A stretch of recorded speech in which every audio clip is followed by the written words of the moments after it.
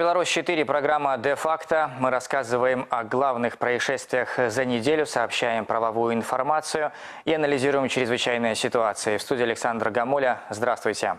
Смертельная погоня в Гомеле, преследуя нарушителя в ДТП, погиб инспектор ГАИ. Какое наказание ожидает лихача? Цена мгновения. Подробности гибели ребенка в Мозырском районе. Можно ли было предупредить трагедию? Собака – верный друг на границе. О роли кинологического отдела в борьбе с контрабандой – репортаж Алексея Немкевича. А также 25 лет Гомельской таможни. С какими результатами служба отмечает юбилей и что изменилось в системе таможенного оформления? Поговорим с экспертом.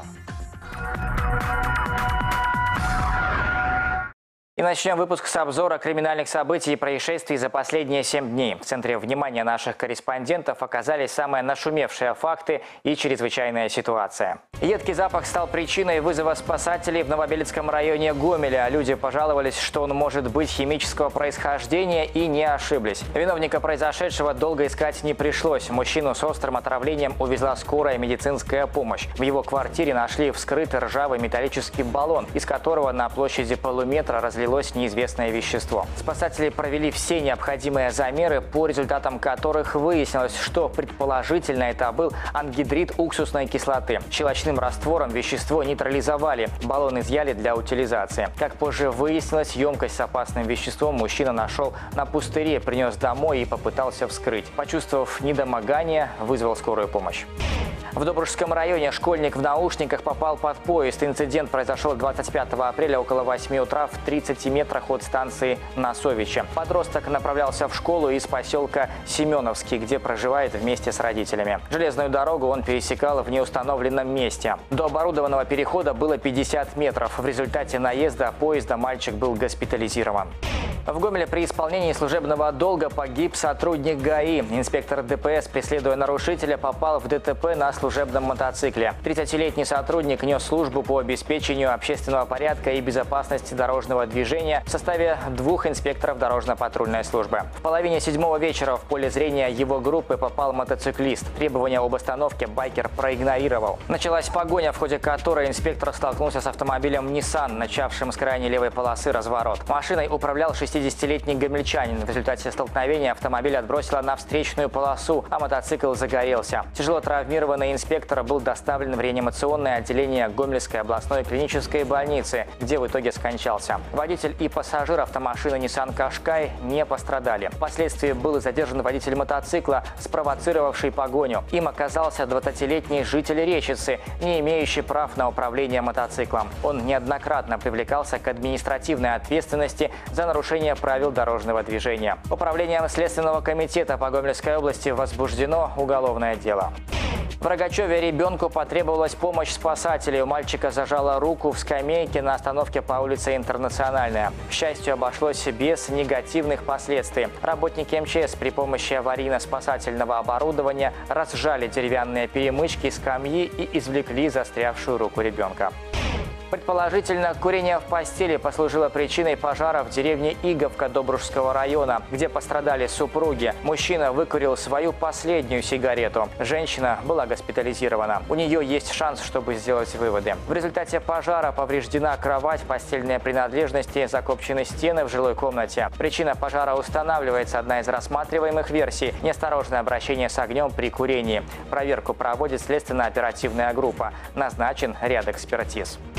Трое подозреваемых в совершении разбойного нападения в Мозере задержаны. Предварительно установлено, что разбойное трио, угрожая ножом, битами, горлышками стеклянных бутылок и зажигалкой, требовали у пенсионерки, жительницы Мозыря, спрятанные в доме деньги и ценные вещи. На протяжении нескольких часов били и пытали пожилую женщину. Знали, что пенсионерка сняла в банке крупную сумму, чтобы отремонтировать крышу. Несмотря на побои, пострадавшая не раскрыла местонахождение денег. Преступники ушли ушли, предварительно связав женщину и ее сына. Злоумышленники были разысканы оперативниками в течение суток.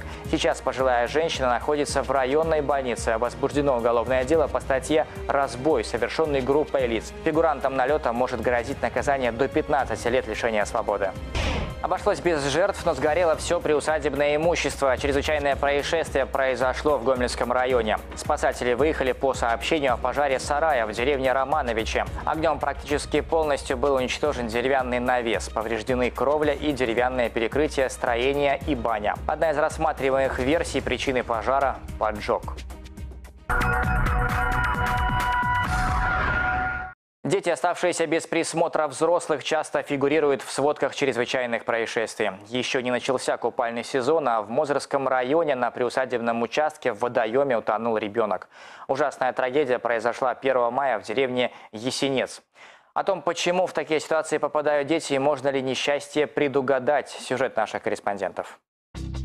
Шестилетний мальчик вместе с мамой, бабушкой и дедушкой приехали 1 мая на дачу. Пока взрослые хлопотали по хозяйству, ребенок незаметно выпал из поля зрения родителей. Шестилетний мальчик э, отлучился в район Копанки, которая находится на домашнем подворье. И когда стали искать, обнаружили его в воде. К сожалению, время уже было упущено, и ребенок погиб. Э, причиной данного случая э, стало, стал недосмотр э, взрослых за ребенком. С начала года утонуло по области 6 человек, из них два несовершеннолетних. Хотелось бы обратить внимание родителей – родственников, что если они находятся где-то на водоеме, то кто-то должен заниматься не работами, должен заниматься не отдыхом и не посвящать этот отдых себе, а должен находиться все время с детьми. И они должны быть под постоянным наблюдением и находиться рядом с ними. Подобные случаи с утоплением малолетних произошли на прошедшей неделе в Витебской и Гродненской областях. Но вода не единственная опасность, с которой могут столкнуться дети. Все в тот же день, 1 мая, в Кармянскую районную больницу поступил пятилетний мальчик с переломом костей правой руки. В 8 вечера его на лугу копытами ударила лошадь. Дети не всегда правильно оценивают уровень своих возможностей и степень опасности того или иного развлечения. Они просто играют. И именно родители должны за ними следить. Ведь кроме взрослых, вряд ли кому-то удастся быстрее всех оказать детям помощь. На улице уже стало тепло, и, в принципе, сегодня большинство детей планируют и проводят свое время на улице. И, как последствие, они печальны, к сожалению. Основным условием гибели остается оставление детей одних родителями. Поэтому родители должны сегодня четко понимать, где ребенок играет, можно ли его оставлять одного, да, и те последствия, которые могут э, настигнуть. Ну и, конечно же, объем работ должен проводиться непосредственно родителями с этими детьми, рассказывая и объясняя, объясняя, что есть и карьеры может засыпать песком, что и в водоеме можно утонуть, и баловство со спичками приводит к пожару. Практика показывает, что своевременно проведенные беседы с детьми и другая профилактическая работа снижает до минимума риск возникновения чрезвычайных ситуаций. За 2017 год в Гомельской области погибло два ребенка. Один в результате утопления, другой на пожаре. Но и эти цифры статистики слишком большая цена за проявленную взрослую беспечность. Наркотики, драгоценности, оружие, предметы искусства и автомобили. Вот неполный список того, что раз за разом пытаются провести нарушители через границу. Гомельские таможенники даже создали собственный музей с самым редким конфискатом. Наш корреспондент Алексей Немкевич попытался разобраться, что же нельзя перевозить через границу и всегда ли незадекларированный товар подлежит конфискации. Обстановка в этом зале, где проходит обычная таможенная процедура, меняется, как только в двери входит еще один молодой человек. Сигнал активной служебной собаки. Такое поведение питомца – явный знак, что пес учуял наркотики. Осталось найти, где именно. Когда курили последний раз? В этой И даже после того, как мужчину просят показать вещи, он пытается спрятать один из пакетов в руке. Были обнаружены тубусы, запаянные с обоих концов. Гражданин пояснил, что в тубусах находится трава, которую он собрал в районе Житомирской области. Марихуана, амфетамин, конопля – это далеко не полный перечень того, что находят на границе сотрудники таможни. Например, в прошлом году выявлено более трех тысяч административных правонарушений. Сумма изъятого, арестованного и задержанного имущества, поставленного на учет в таможне в 2017 году, увеличилась по сравнению с 2016 на 121% и составила более 10 миллионов рублей. От старинных икон и распятий до коллекции монет. В этих залах собраны ценности, которые пытались вывести из страны. Сейчас большая часть из них экспонируется в музеях. Хозяева некоторых из этих вещей могли и не знать, что книга или статуэтка может быть предметом искусства. Оценка каждой проводится индивидуально. Например, монеты, созданные сто лет назад и более, относятся к ценностям и подлежат таможенному декларированию. Данное можно утверждать только исключительно с э, постановление, которое мы назначим о назначении экспертизы, и когда в таможню придет соответствующее решение, заключение эксперта, который, соответственно, обладает определенными познаниями в данной среде. Сам таможенник не специалист в данном вопросе. Кстати, с нового года ситуация с конфискацией поменялась. В силу вступили изменения соответствующих статей Кодекса об административных правонарушениях. Конфискация осталась в статьях, которые предусматривают наличие определенного прямого умысла. Это статьи, связанные с незаконным перемещением транспортных средств, э, помимо пунктов таможенного оформления. Это статья, э, связанная с недекларированием валюты в, в сумме превышающей 10 тысяч долларов США. И э, статья, связанная с перемещением товаров с сокрытием от таможенного контроля путем именно использования тайников. Изменились не только правила внутри страны, с нового года в силу вступил и таможенный кодекс для стран ЕС. Документ не маленький, почти 1200 страниц, однако он заметно облегчил жизнь бизнесменам. Теперь вместо забегов по кабинетам регистрация товаров за 4 часа по принципу одного окна. Скорость грузопотоков на таможне увеличивается в 6 раз. Алексей Немкевич, Павел Антонов специально для программы «Де-факто».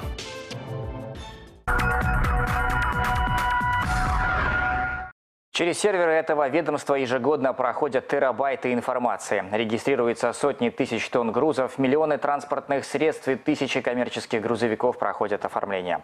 Четверть века на страже стабильности экономики страны и сбалансированных отношений государств стоит Гомельская таможня.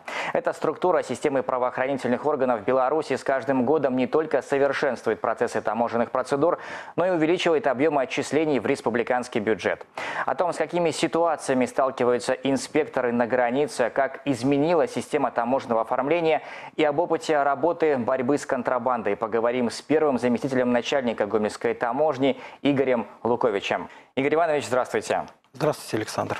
Перед тем, как мы начнем беседу, хотелось бы поздравить всех сотрудников Гомельской таможни с 25-летием со дня образования ведомства. И поздравить вас лично, пожелать коллективу здоровья, процветания и сил, чтобы и дальше уверенно стоять на страже экономических интересов нашего государства. Спасибо, Александр. Пользуясь предоставленной возможностью, э, позвольте поздравить э, ветеранов Гомельской таможни, сотрудников Гомельской таможни с э, Днем образования – Э, пожелать здоровья, удачи, благополучия, э, мирного неба, добра, неиссякаемой энергии и дальнейших успехов в деле защиты экономических интересов Республики Беларусь. С праздником, дорогие друзья! Расскажите, с какими результатами служебной деятельности Гомельская таможня подошла ко дню своего 25-летия? Э, если кратко подвести итоги на этом этапе работы Гомельской таможни, то следует отметить, что э, все задачи, поставленные президентом Республики Беларусь, правительством Республики Беларусь, э, руководством Государственного таможенного комитета на сегодняшний день коллектив Гомельской таможни выполнил. Это в первую очередь касается обеспечения исполнения целевых показателей работы таможни, пополнения доходной части республиканского бюджета и э, вопросы, связанные с предотвращением, пресечением э, фактов правонарушений в области таможенного законодательства, а также те задачи, которые связаны с содержанием, развитием и поддержанием в рабочем со- состоянии объектов таможенной инфраструктуры. Насколько мне известно, ну, из года в год показатели по э, суммам отчислений в бюджет э, растут. За счет чего это удается? Ситуация связана с тем, что э, совершенствуются формы и методы проведения таможенного контроля в отношении перемещаемых товаров, что позволяет э, довольно качественно контролировать вопросы, связанные со страной происхождения товара, классификацией товара. И как результат это пополнение э, доходной части республиканского бюджета. Если говорить об инновациях, которые удалось внедрить в систему таможенного оформления за последние 10 лет, то что можно говорить? Ровно 10 лет тому назад одним из основных моментов инновационных, которые начала таможенная система Республики Беларусь внедрять в своей работе, это э, электронное декларирование товаров. Э, Это начиналось э, в Гомельской таможне в Речице, был в то время пункт таможенного оформления Речица Межрайбаза, и на этом подразделении структурном начиналась работа по внедрению электронного декларирования. Если подвести итог вот этой вот десятилетней работы в данном направлении, то на сегодняшний день практически 99,9% товаров, которые оформляются в регионе деятельности Гомельской таможни, они оформляются с применением электронного декларирования, что, соответственно, создает э, удобство как участникам внешнеэкономической деятельности, так и должностным лицам таможни с той точки зрения, что таможня может своевременно и оперативно перераспределять свои силы и средства в зависимости от того участка, где возникают в том числе и пиковые нагрузки. Второй момент – это опять же в рамках э, внедрения инновационных технологий. Следует отметить, что в рамках электронного декларирования э, ввод- вводятся моменты, связанные с автоматическим выпуском товаров в определенных таможенных процедурах. На сегодняшний день одна из, э, одно из достижений, скажем так, э, без участия должностного лица таможни в регионе деятельности оформляется до 30% экспортных э, деклараций на товары в автоматическом режиме. Как одна из, один из моментов этого электронного декларирования. Также следует отметить, что в этой ситуации имеет место и автоматический выпуск в процедуре таможенного транзита, и представление электронной предварительной информации в отношении товаров, перемещаемых различными видами транспорта. Это автомобильный, железнодорожный, воздушный. Опять же, представление электронной предварительной информации экономит время участников внешнеэкономической деятельности и позволяет им, скажем так, беречь свои ресурсы на данном этапе своей деятельности. Ну, работа это, наверное, добавилась сотрудникам Гомельской таможни в связи с тем, что вот на такие рельсы новая инновационная перешла система. Работы добавилось, наверное, с той точки зрения, что инновационная система – это в первую очередь люди, подготовка, квалификация личного состава. Это раз, что, э, скажем так, подвигло на то, что в системе таможенных органов появился свой институт повышения квалификации при подготовке кадров. Эта ситуация связана, что в ряде высших учебных заведений Республики Беларусь, в том числе Белорусском государственном университете транспорта, создано э, кафедры, которые готовят специалистов таможенного отдела. Второй момент – это требования программным обеспечением к информационным системам, которые должны соответствовать реалиям сегодняшнего дня и в круглосуточном режиме поддерживаться в рабочем состоянии. Насколько мне известно, все эффективнее и эффективнее становятся средства контроля, что позволяет, э, э, скажем, выявлять больше нарушителей, э, внимательно следить за контрабандой, не так ли? Вы правильно отметили, что на сегодняшний день правоохранительная составляющая, она находится в стадии, скажем так, активного движения по пути совершенствования формы методов работы по выявлению пресечению э, административных правонарушений и преступлений э, в области таможенного дела. Все структурные подразделения э, правоохранительного блока таможни, отделы таможенного оформления и контроля в своей работе используют технические средства таможенного контроля. На сегодняшний день это начиная от элементарного фонарика, щупа, рулетки, вот, до э, сложных систем, которые основаны на принципах неинтрузивного контроля, без скрытия э, транспортных средств, грузовых мест, э, размещенных э, в транспортных средствах. И, соответственно, это помогает э, в нашей работе по выявлению правонарушений и преступлений. Насколько мне известно, 36 уголовных дел было возбуждено по материалам Гомельской таможни в прошлом году.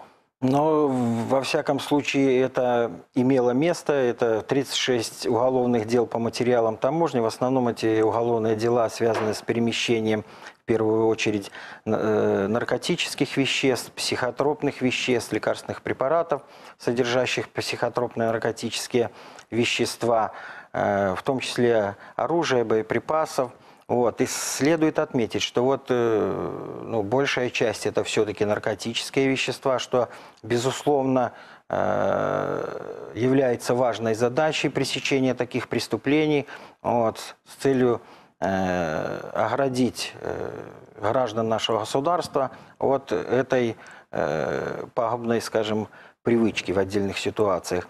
И здесь нам большую помощь оказывает Э, наши четвероногие помощники. Вот. Есть в таможне кинологический отдел, э, который активно проводит мероприятия, как профилактического, так и оперативно-служебного плана. С января 2018 года был принят, э, утвержден новый кодекс стран Евразийского экономического союза. Э, что за собой это повлекло и э, что нужно теперь знать и помнить участникам внешнеэкономической деятельности, а также гражданам, которые пересекают границу стран Евразийского экономического союза?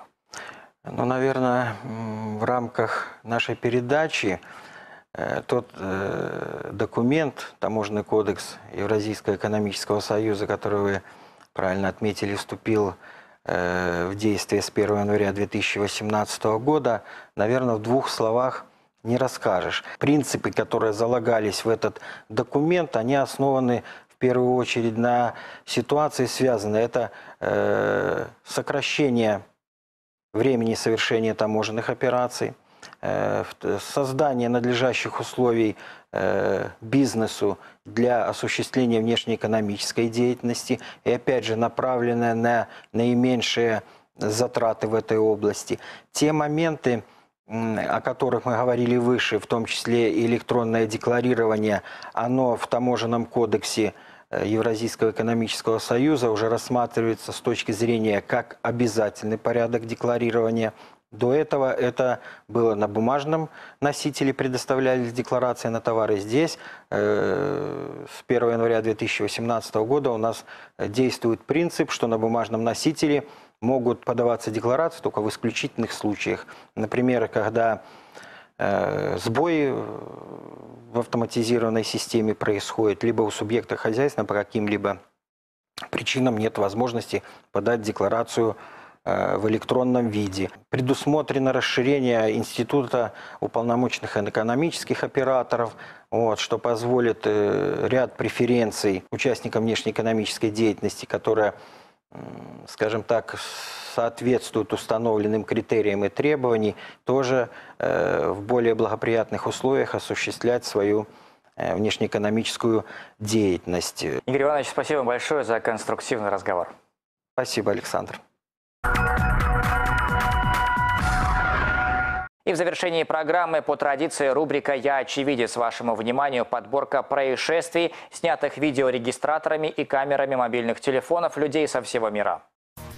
В бразильском Сан-Пауло обрушился пылающий небоскреб. Здание рухнуло в тот момент, когда его приехали тушить пожарные. Сообщается, что пожар случился на нижних этажах высотки и очень быстро распространился по всему зданию. В ликвидации ЧП участвовали 150 спасателей. В самый разгар тушения пожара небоскреб сложился как карточный домик, а клубы из смеси огня, дыма, пепла и пыли поглотили половину квартала, включая автомобили спасателей, расположенный рядом храм и прочие здания. Предположительная причина возгорания возгорания взрыв бытового газа. Однако эта версия прорабатывается.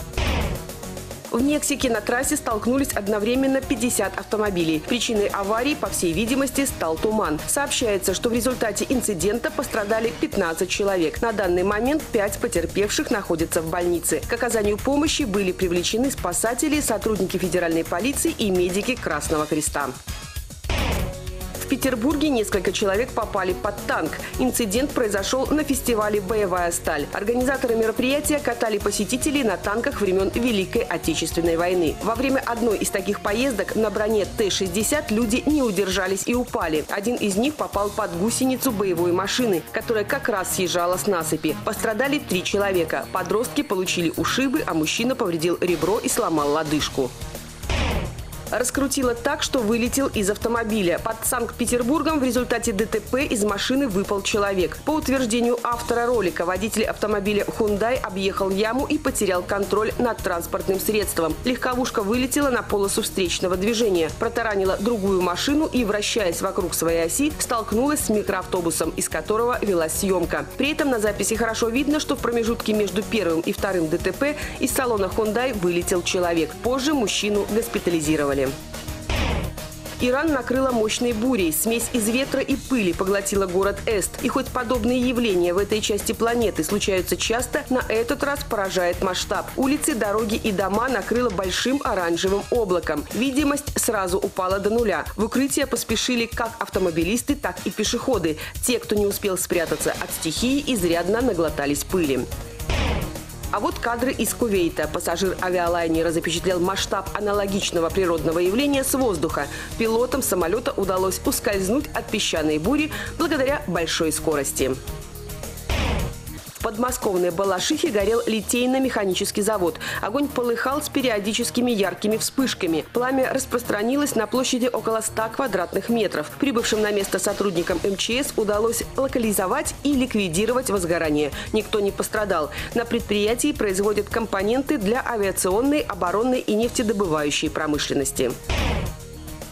Голодный лев пойдет на все, в том числе научится зубами открывать дверь автомобиля с туристами. В ЮАР в национальном парке Крюгера львица, у которой вечером разыгрался аппетит, заставила изрядно поволноваться посетителей заповедника. Потянув зубами за ручку машины, хищнику почти удалось открыть дверь легкового автомобиля. К слову, такое умное поведение львов наблюдается уже несколько лет. В некоторых случаях старания диких кошек заканчивались успехом и жутким испугом пассажиров. О таком интеллектуальном поведении хищника хищников всех туристов сейчас предупреждает администрация парка. И чтобы не стать завтраком, советуют закрывать двери машин на замки.